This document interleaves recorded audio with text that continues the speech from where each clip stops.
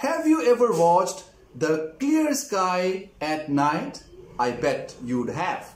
सबने देखा होगा रात को आसमान कैसा दिखता है So what do we see when we look at the sky at night? We see countless little dots shining brightly. Yes or no? Of course. So when we look closely, we find that some of these are twinkling and some are not. कुछ इसमें से टिमटिमाते हैं और कुछ इसमें से नहीं टिमटिमाते। तो हम आज इसी विषय पर बात करेंगे। We will talk about this my name is Vivek and welcome to Vivek's zone in this video I will explain in detail the topic the earth in the solar system the book in geography for class 6 published by NCERT and applicable to all CBSE affiliated schools. तो चलिए शुरू करते हैं the earth in the solar system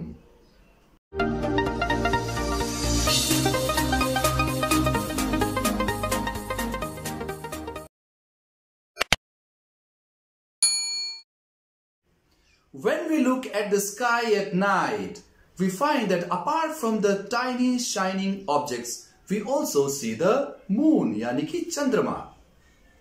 Now, this moon, however, appears in different shapes and different positions. तो ये चंद्रमा हमें अलग अलग आकार में और स्थितियों में दिखाई देता है। Once in a month we can see the full moon यानी कि पूर्ण चंद्रमा। That night is known as full moon night और पूर्णिमा। उस रात को हम पूर्णिमा कहते हैं। But after a fortnight that means fifteen days पंद्रह दिन के बाद अगर हम देखते हैं तो हमें चंद्रमा नहीं दिखाई देता। उस रात को हम कहते हैं न्यू मून नाइट और अमावस्या। उसे हम अमावस्या की रात कहते हैं। उस रात को चंद्रमा दिखाई नहीं देता। जब हम दिन में देखते हैं when we look at the sky during the day we do not see the moon we do not see the stars why ऐसा क्यों? This is because the bright light of the sun prevents us from seeing them. सूर्य की जो रोशनी है, जो तेज रोशनी है, उस रोशनी में हमें ये चंद्रमा और तारे दिन में दिखाई नहीं देते the sun the moon and all other shining objects in the night sky are known as celestial bodies यानी कि खगोलीय पिंड some of them are very big and hot इसमें से कुछ काफ़ी आकार में बड़े और गर्म होते हैं। They are made up of gases ये गैसेस से बने होते हैं। They have their own heat and light उनके अपने उष्मा और प्रकाश होता है। Which they emit in very large amounts और ये उष्मा और प्रकाश, यानी कि हीट और लाइट को छोड़ते हैं, उत्सर्जित करते हैं। These celestial bodies are known as stars इन्हीं को हम कहते हैं तारा। सन इज़ ऑल्सो स्टार सूर्य भी एक तारा है। यह सबसे नजदीकी तारा है। This is the nearest star in the night sky we can notice various patterns formed by groups of stars these are called constellation या नक्षत्र मंडल। For example the Ursa Major और the Big Bear is one such constellation तो नक्षत्र मंडल का एक उदाहरण है, जिसे हम अर्सा मेजर या बिग बियर कहते हैं। One constellation which we can easily recognize is the Saptarishi एक बहुत ही आसानी से पहचाने जाने वाला नक्षत्र मंडल है Saptarishi sapta means seven and rishi means sages और saints it's a group of seven stars in the ancient times people use to find out direction with the help of stars प्राचीन समय में, पुराने समय में, लोग दिशाओं का पता तारों को देख के लगा लेते थे। There is a star named as the North Star. And this North Star always indicates the north direction. And it does not change its position तो एक तारा है जिसे हम उत्तरी तारा कहते हैं, ये उत्तर दिशा को हमेशा बताता है और इसकी स्थिति बदलती नहीं है this star is also known as the pole star या ध्रुव तारा we can locate the pole star with the help of Saptarishi तो सप्तऋषि के सहायता से हम उत्तरी तारा, यानी कि ध्रुव तारा का पता लगा सकते हैं as you can see in the image some celestial bodies do not have their own heat और light these are called planets तो कुछ खगोलीय पिंडों के पास अपनी उष्मा एवं प्रकाश नहीं होता। इन्हें हम कहते हैं ग्रह, यानी कि planet the word planet comes from the Greek word planetai which means wanderers wanderers means those who keep on moving यानी कि ये जो प्लैनेट शब्द है, ये ग्रीक भाषा के प्लैनेटाई शब्द से लिया गया है, जिसका मतलब है घूमने वाले. तो ये है इसका origin now the earth is a planet जिस धरती पर हम रहते हैं, वो भी एक प्लैनेट है, यानी कि ग्रह है। And like the earth there are seven other planets now the earth receives heat and light from the sun which is our nearest star तो धरती को उष्मा और प्रकाश कहाँ से मिलता है? यह मिलता है सूर्य से, जो कि हमारा सबसे नज़दीक का तारा है। The earth has a satellite known as the moon, which we can see in the night sky. So, moon is the satellite of the earth and this moon is also the companion of the earth. It moves around the earth. तो ये चंद्रमा धरती का एक सहचर है और ये धरती के चारों तरफ़ घूमता है ये धरती का उपग्रह है like the earth some of the other planets too have their own moons तो धरती की तरह कुछ और जो ग्रह हैं, उनके भी अपने चंद्रमा हैं Mercury, which is the nearest planet to the Sun, takes 88 days to make one revolution.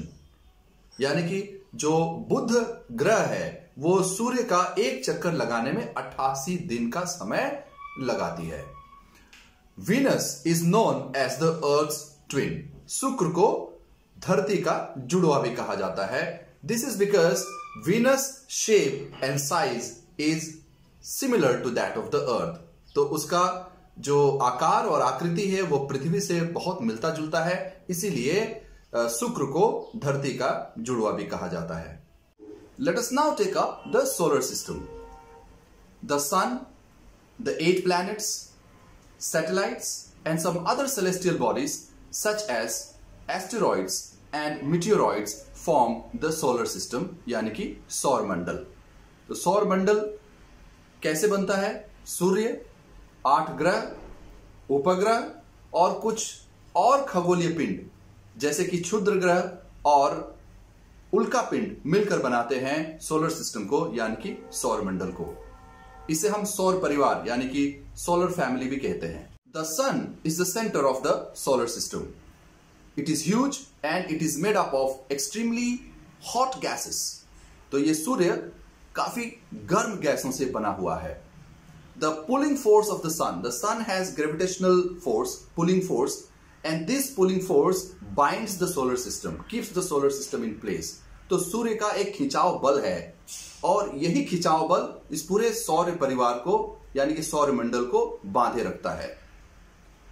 The sun is the ultimate source of heat and light for the solar system तो पूरा सौर मंडल सूर्य से ही प्रकाश और उष्मा प्राप्त करता है। But we do not feel tremendous heat because though the sun is our nearest star yet it is very far away from us it is about 150 million kilometres away from the earth तो सूर्य की बहुत तेज गर्मी हमें महसूस क्यों नहीं होती है? वो इसलिए नहीं होती है कि ये हमारे सबसे नज़दीक का तारा होते हुए भी हमसे काफ़ी दूर है। ये धरती से करीब 15 करोड़ किलोमीटर दूर स्थित है। Let us now take up planets there are eight planets in our solar system and according to the distance from the sun they are Mercury Venus Earth Mars Jupiter, Saturn Uranus and Neptune. तो हमारे सौर मंडल में आठ ग्रह हैं। सूर्य से दूरी के अनुसार इनके नाम हैं बुध, शुक्र, पृथ्वी, मंगल, बृहस्पति सनी यूरेनस और Neptune. Now all these planets move around the sun ये सारे ग्रह सूर्य का चक्कर लगाते हैं। And they move around the sun on a fixed path these paths are known as orbits इन्हें हम कक्षा कहते हैं। Now these paths are not perfectly circular rather they are elongated यानी कि ये जो इनके पथ हैं, वो स्ट्रेच्ड हैं, वो पूरी तरह से सर्कुलर नहीं है। Till August 2006 there were nine planets in our solar system नौ ग्रह थे।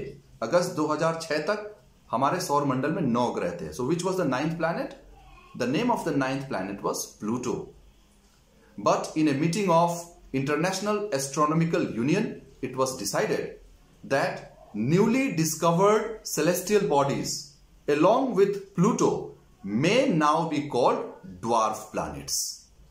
तो उस मीटिंग में यह निर्णय लिया गया कि नए खोजे गए खगोलीय पिंड और प्लूटो को हम बौने ग्रह कह सकते हैं। Let us now talk about the planet on which we live that is the earth the earth is the third nearest planet from the sun and it is the fifth largest planet of the solar system the earth is slightly flattened at the poles यानी कि ध्रुवों पर जो धरती है, वो चपटी है। And that is why its shape is called geoid इसके आकार को हम भू आब कहते हैं। Geoid means earth like shape conditions favourable to support life are found probably only on earth जीवन के लिए जो ज़रूरी कंडीशंस हैं, वो शायद सिर्फ़ धरती पर ही उपलब्ध हैं। The earth is neither too hot nor too cold it has water and air the air has life supporting gases like oxygen तो धरती पर जल है, धरती पर हवा है, और धरती पर इन हवाओं में जीवन के लिए ज़रूरी ऑक्सीजन भी उपलब्ध है। This is why the earth is called a unique planet इसीलिए धरती को अद्भुत ग्रह भी कहा जाता है। From space the earth looks blue in colour space से अगर हम देखेंगे तो हमारी धरती नीले रंग की दिखती है। ऐसा क्यों है? Why is it so this is because two third of the earth surface is covered by water bodies that is oceans and seas तो दो तिहाई जो धरती का हिस्सा है, वो जल से ढका हुआ है। इसीलिए ये अंतरिक्ष से नीले रंग की दिखती है।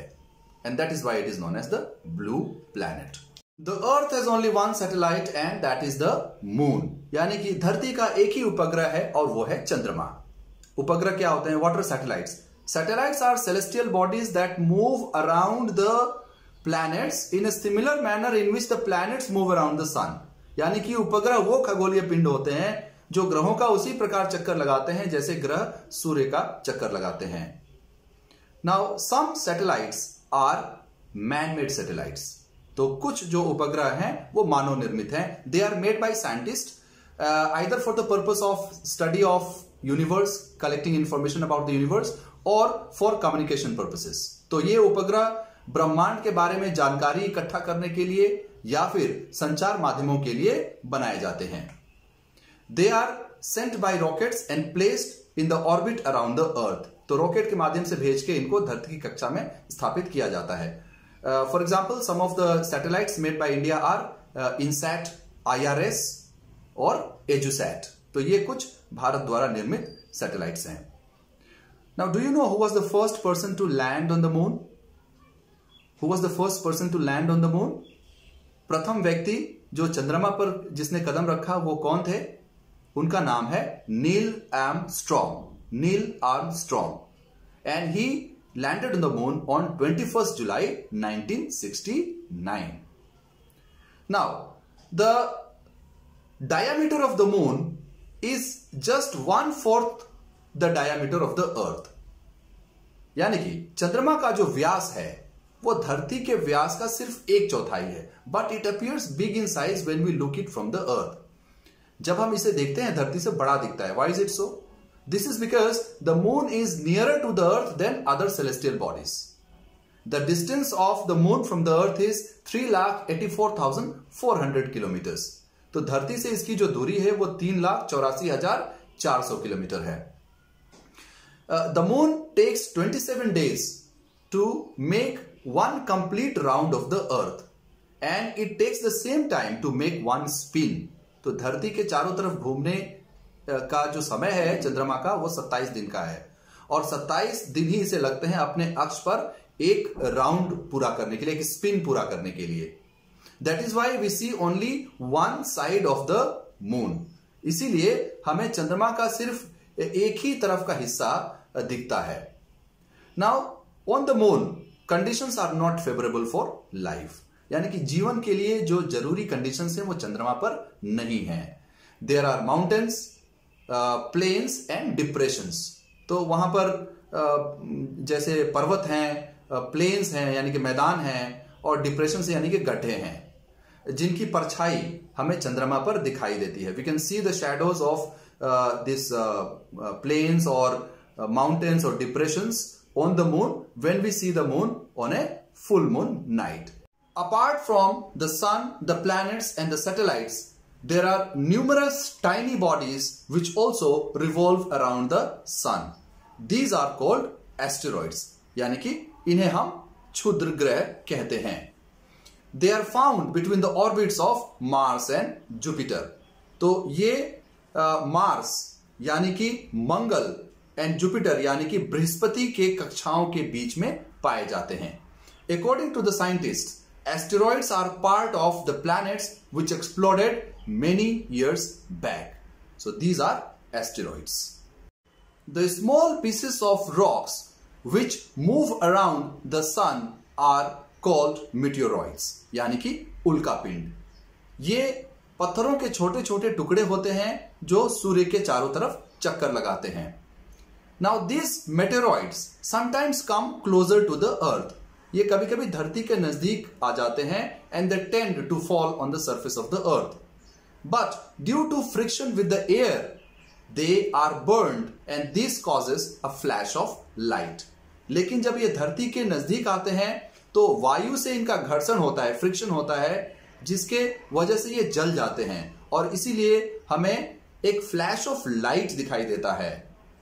Sometimes they are not fully burn and they fall on the surface of the earth and create hollow तो ये कभी कभी पूरी तरह से नहीं जलते हैं और धरती के सतह पर गिर जाते हैं, जिससे कि गड्ढे बन जाते हैं। तो ये है meteoroids you may have seen a white is broad band like a white glowing path across the sky on a clear starry night. It is a cluster of millions of stars. It is called the Milky Way galaxy यानी कि आकाश गंगा। ये आकाश गंगा लाखों तारों का समूह है। Our solar system is a part of this Milky Way galaxy हमारा सौर मंडल इसी आकाश गंगा का हिस्सा है।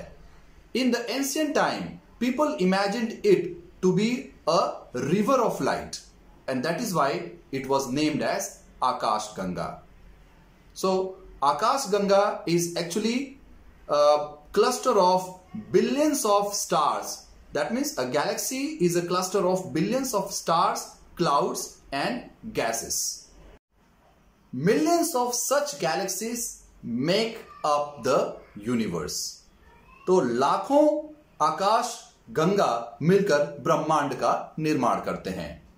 How big is the universe यह ब्रह्मांड कितना बड़ा है?